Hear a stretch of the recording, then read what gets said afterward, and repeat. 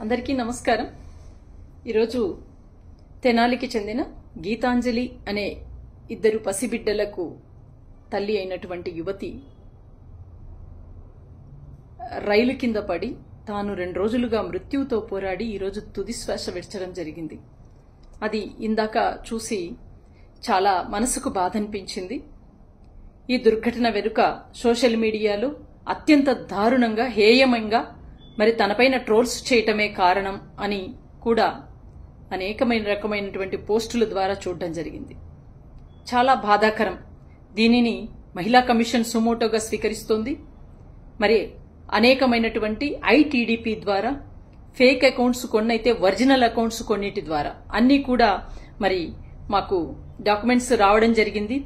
అజయ్ సజ్జా అనే ఒక వ్యక్తి స్వాతిరెడ్డి అనే అమ్మాయి ఎంత బాధాకరం అంటే ఒక మహిళ మీద ఇంకొక మహిళే ఇంత దిగజారిపోయి అసభ్యకరమైన రీతిలో ఆ అమ్మాయిని ట్రోల్స్ చేస్తూ మీరు ఒక రాజకీయ పార్టీకి ఊడిగం చేయాలంటే చెయ్యండి ఒక రాజకీయ పార్టీని భుజాన పెట్టుకుని మోయాలంటే మోయండి కానీ అభంశుభమెరుగని ఒక మహిళను తన ఆనందాన్ని నాలుగు రోజుల క్రితం తాను జగనన్న ఇంటి పట్టా అందుకొని తాను సంతోషంతో తనకు ఈ రాష్ట్ర ముఖ్యమంత్రి గారు ఇంటి స్థలం ఇచ్చారని తనకు అమ్మఒడి పథకం ద్వారా తన బిడ్డకు చదివిస్తున్నాడని ఎంతో ఆనందం వ్యక్తపరుస్తూ తన సంతోషాన్నంతటినీ కూడా తన మొహంలో చూపిస్తూ మీడియా వేదికగా మాట్లాడిన వీడియో కూడా చూడడం జరిగింది.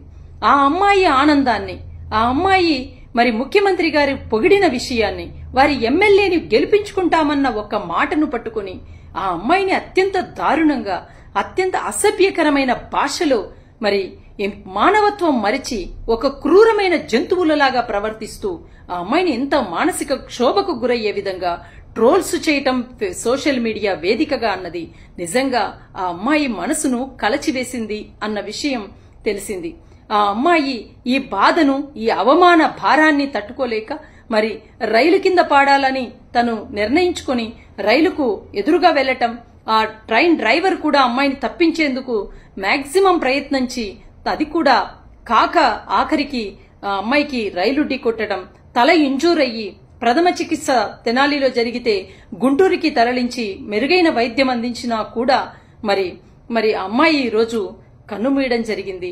ఈ ఈ సంఘటనకు నిజంగా సోషల్ మీడియా ట్రోలింగ్సే కారణము అని తెలిస్తే నిజంగా ఎంత బాధనిపిస్తుంది మన మనము సభ్య సమాజంలో ఉన్నామా?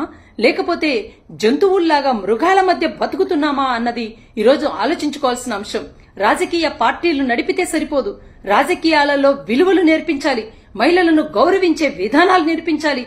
ఒక మహిళను ఎన్నో ఆశలతో తను ఎంతో మనసు నిండా సంతోషంతో మాట్లాడిన అమ్మాయిని ఎంత మానసిక క్షోభకు గురి చేశారు. ఆ అమ్మాయి సంతోషం మీద ఆ అమ్మాయి నిండైన జీవితం మీద నీళ్ళు చల్లి ఆ అమ్మాయి ఆశలను ఆవిరి చేశారు అదేవిధంగా ఈరోజు ఎవరు కూడా ఇంత బలవన్ మరణం పొందాలని ఏ అమ్మాయి కోరుకోదు.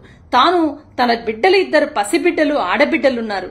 ఆడబిడ్డలతో తను ఎంతో జీవితాన్ని పొందాలని కలలు కనింటుంది. అలాంటి అమ్మాయి కలలను చెరిపివేసే విధంగా మీరు ప్రవర్తించిన తీరు ఐటీడీపీ సోషల్ మీడియా ద్వారా. అదేవిధంగా జనసేనకు చెందిన కొంతమంది ఎంత దారుణమైన ట్రోల్స్కు పాల్పడ్డారో చూస్తే మనసుకు చాలా బాధ అనిపిస్తోంది నిజంగా ఇంత వ్యవస్థలు వ్యవస్థలు నిజంగా ఇంత దారుణంగా తయారయ్యాయి అంటే నిజంగా మీరు రాజకీయాలలో లోకేష్ ఈరోజు ట్వీట్ చూసిన తర్వాత అనిపించింది. ఇలాంటి వాళ్ళు పాలకులా? ఇలాంటి వాళ్ళు మహిళలను రక్షిస్తారా? మహిళల యొక్క మహిళలను అంతమొందించే విధంగా మీ చర్యలున్నాయి. ఈ రోజు ఒక నాయకుడై ఉండుకొని ఈరోజు నువ్వు మహిళలకు భద్రత కల్పించాల్సిన దిశాప్రతులను తగలబెట్టిన లోకేష్ ఇంతకంటే మంచి ట్వీట్ పెడతాడని ఏ మహిళ ఆశించదనుకుంటా?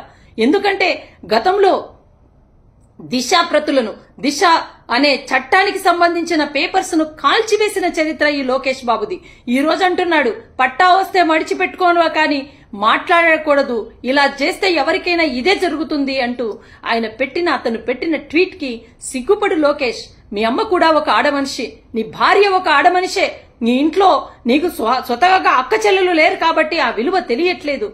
ఆడబిడ్డల జోలికి వస్తే సర్వనాశనమైపోతాయి. ఎవరైనా సరే అది రాజకీయ పార్టీలైనా సరే వ్యక్తులైనా సరే ఖచ్చితంగా దీని వెనుక ఉన్న ఎవరినైనా సరే శిక్షిస్తాం.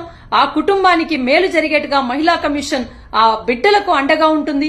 ఆ అమ్మాయి మృతికి కారణమైన వాళ్ళను కఠినమైన శిక్ష పడే విధంగా మహిళా కమిషన్ మరి ఆ కుటుంబానికి తోడ్పాటునిస్తుందని అదేవిధంగా ఆ వారిని కూడా త్వరలో వారి కుటుంబాన్ని కూడా పరామర్శించి మరి ఈ సంఘటన వెనుక ఎవరున్నారో వారికి శిక్ష పడే విధంగా కూడా ప్రయత్నిస్తాం. ముఖ్యమంత్రి గారి దృష్టికి తీసుకువెళ్ళి ఆ బిడ్డల యొక్క భవిష్యత్తుకు కూడా మరి మంచి నిర్ణయం తీసుకునేలాగా వారికి కూడా మంచి భవిష్యత్తు అందించేలాగా కూడా ప్రయత్నం చేస్తామని తెలియజేస్తూ తప్పకుండా మహిళా కమిషన్ ఇలాంటి ఇలాంటి చర్యలను సహించదని తప్- మహిళలకు మంచి చేస్తే మంచి చేయకపోయినా పర్వాలేదు కానీ మహిళలను ఇంత నీచంగా ఇంత క్రూరంగా ఇంత పాచాచికంగా మీ చర్యలు కన కొనసాగితే మహిళలే మిమ్మల్ని మట్టు పెడతారని తెలియజేస్తూ మరి తప్పకుండా ఈ దీని వెనుక ఉన్న ఎంతటి వారైనా సరే ఖచ్చితంగా వీరందరినీ శిక్షించాలని రేపే డీజీపీ గారిని కోరడం జరుగుతుంది. తప్పకుండా మరి వారి మీద చర్యలు తీసుకునేలాగా కూడా మహిళా కమిషన్ పనిచేస్తుంది.